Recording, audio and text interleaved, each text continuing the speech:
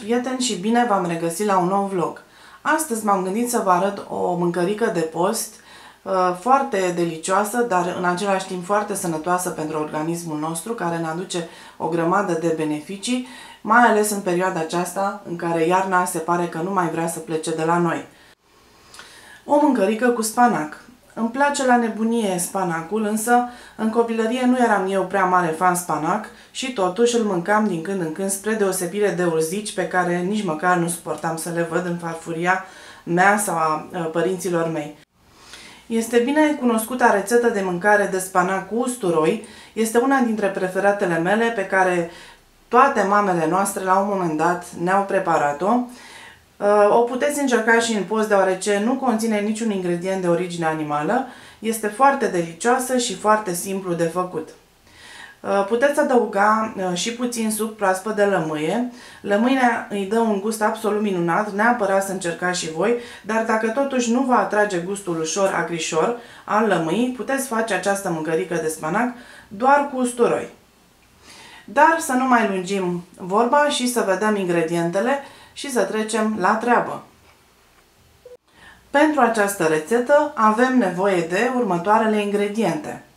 1 kg spanac proaspăt, 30 g făină, 500-600 ml apă în care vom apări spanacul, 3 căței mari de usturoi, 3 linguri ulei de floarea soarelui, 2-3 linguri suc de lămâie proaspăt, sare, piper și alte condimente după gust. În timp ce apa fierbe într-o oală mare pe foc, am pregătit sucul de lămâie, uh, ceapa roșie pe care am decojit-o și uh, usturoiul, pe care acum le voi toca cu ajutorul robotului de bucătărie. Pentru că apa noastră clocotește deja, voi adăuga aproximativ o linguriță de sare și voi începe să introduc spanacul.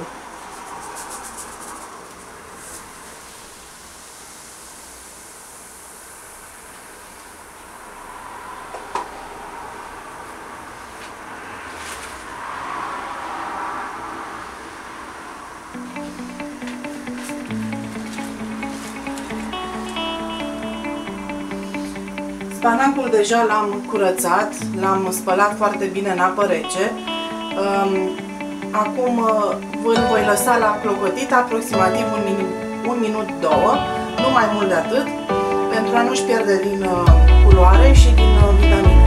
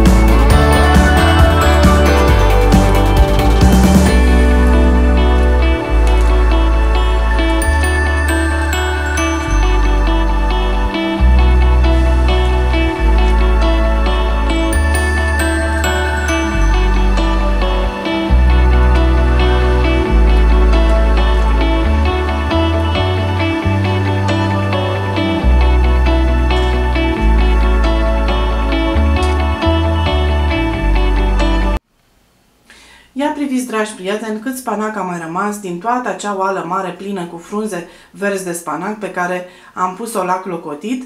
Bineînțeles că uh, cantitatea s-a micșorat.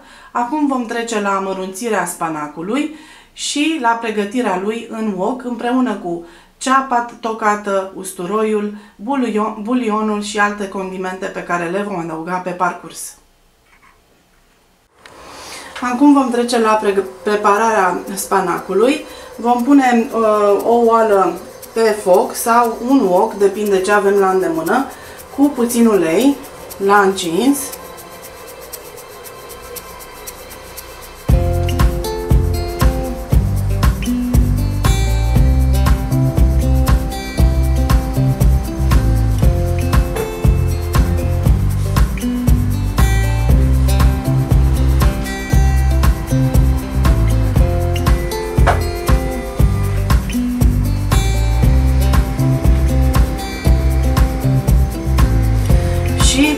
cele 25-30 de grame de făină pe care, cu care vom face un sos uh, spanacului nostru.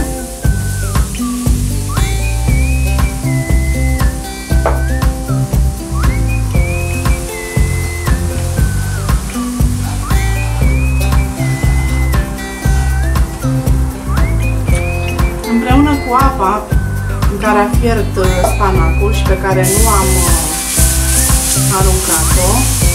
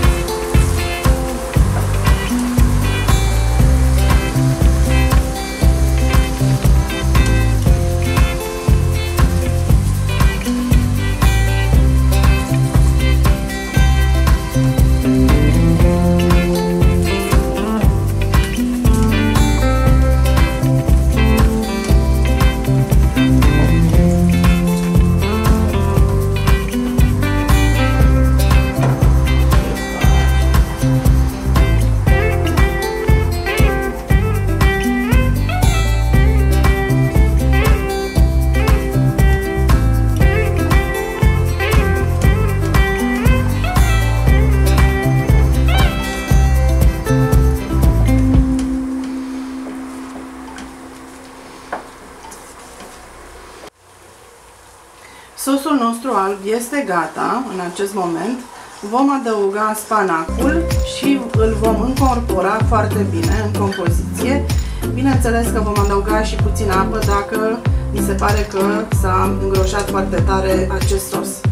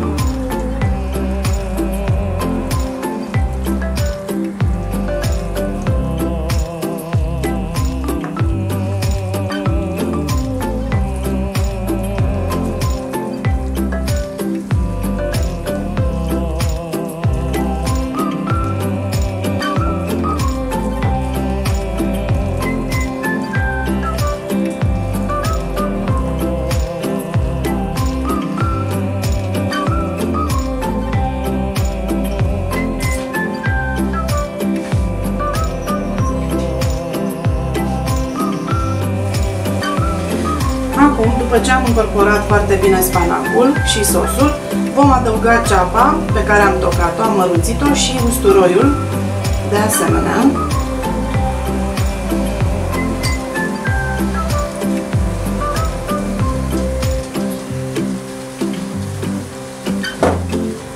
Și vom amesteca foarte bine.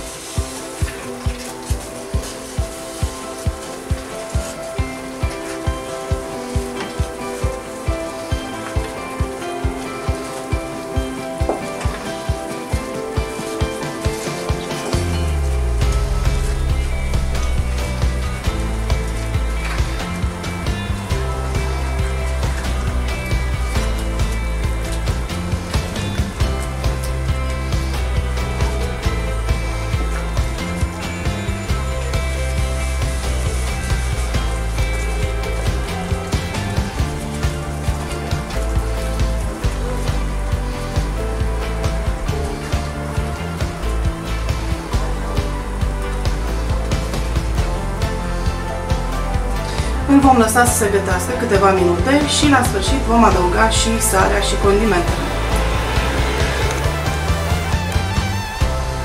Voi adăuga acum sarea.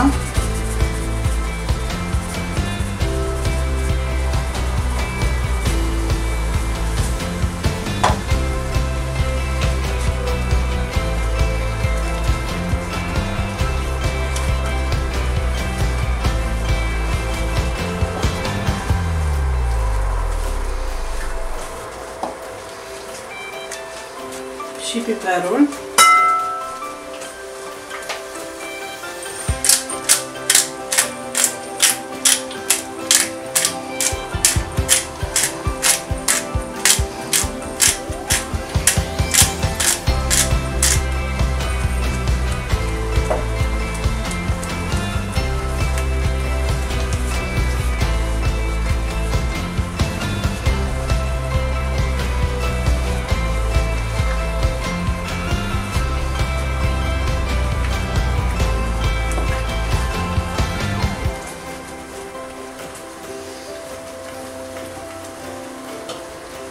și puțin suc de lămâie.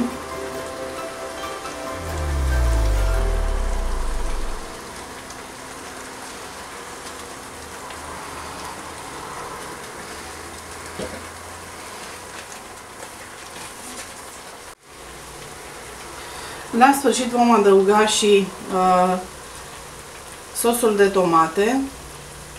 Iau unul mai special pentru că este făcut în casă de mama și de bunica, cu ardei gras, roșu și roșii foarte bine coapte, câteva lingurițe și vom amesteca foarte bine.